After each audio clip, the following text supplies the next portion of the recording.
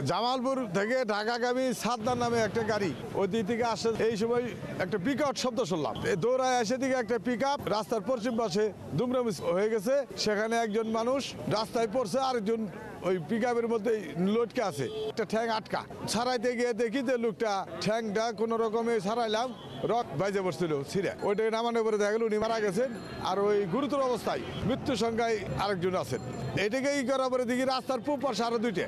দুইটা মানুষ এক তৎক্ষণাৎ মৃত পাইছি, আরেকটা মানুষ একটা ঠ্যাং ভাঙে গেছে গা, মাথা থেকে রক্ত পড়তেছে।